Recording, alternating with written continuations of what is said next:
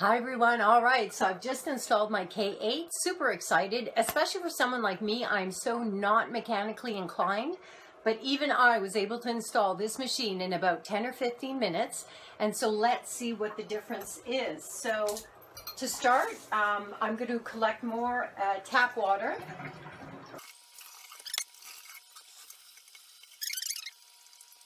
Wow, look at how hydrogen rich this water is. Look at that. Look at those bubbles of love and antioxidant right there. So let's go back to the ORP meter. Turn that thing on. Go back into the tap water, see what we get. Climbing, climbing. All right. We're getting there. I'm going to reach that 600 and then I'm going to drop it in this other water our 9.5 from the Kangen, 580.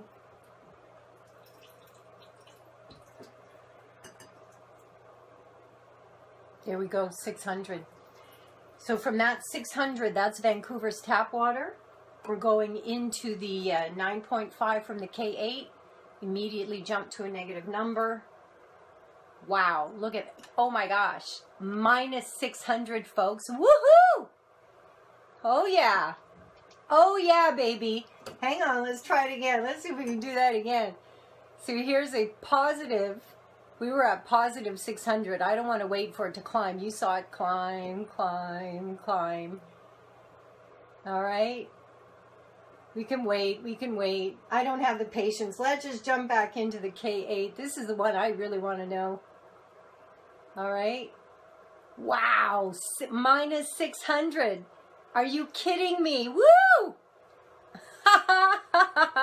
so there you have it, 9.5 water from the K8. I really just want to share that information because I've able I've been able to help uh, myself with so many different symptoms, including chronic nausea, um, some pain I had from a degenerative disc, and uh, the biggest one for me is in 2006. I was diagnosed with macular degeneration. That was my third diagnosis, actually. And that doctor pretty much said, uh, go home, contact the CNIB, and have them help you with uh, coping on how to become blind. And when I called the CNIB, they were even ready to offer me a white cane. I said, what? I said, I'm so not ready for that. I said, hold the bus right there. I'm, I'm getting off and I'm going to find ways to actually get better. And I did. I graduated as an acupuncturist. I was able to help a lot of my vision, but I was still sort of not great, not what I was looking for. And this water has just knocked it out of the park for me. Uh, my vision has greatly improved um, to the point where I'm reading, right? I'm, I'm reading things without my glasses. And this is someone who was supposed to go blind in 2006. So I got to tell you, for me, um, this is uh, awesome water, and this is why I share this information. Uh, because I really want to make a dent in, in how we take care of our health, right? It's not just doctors who are in charge. I mean, it's important.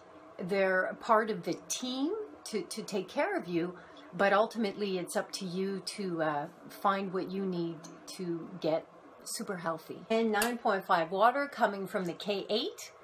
And so to your health, my friends, to your health.